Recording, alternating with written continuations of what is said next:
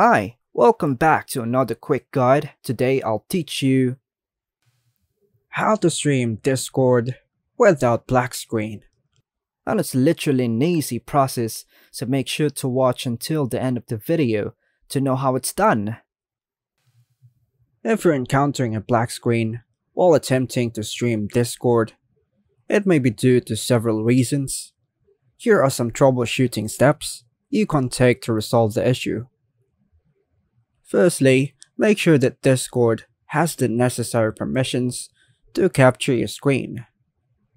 Check your system's privacy settings to allow Discord access to your screen.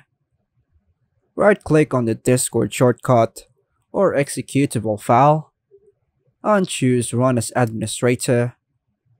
Run in Discord with administrative privileges might resolve screen capture issues another guide, and Discord settings.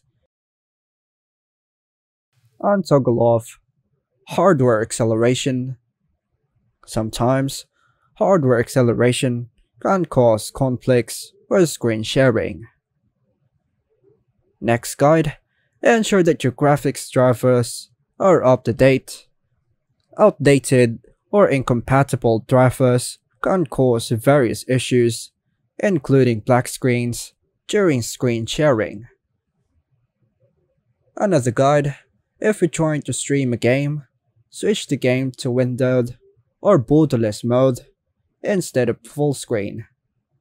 Discord may have difficulty capturing full screen applications. Next guide, in Discord, go to user settings, voice and video, ensure that the correct camera and microphone are selected. Check if the selected camera is displaying properly. Another guide, Discord overlays can sometimes interfere with screen sharing. Try disabling Discord overlays in Discord settings. Next guide, ensure that you are using the latest version of Discord. Updates often include bug fixes, and improvements that may address screen sharing issues.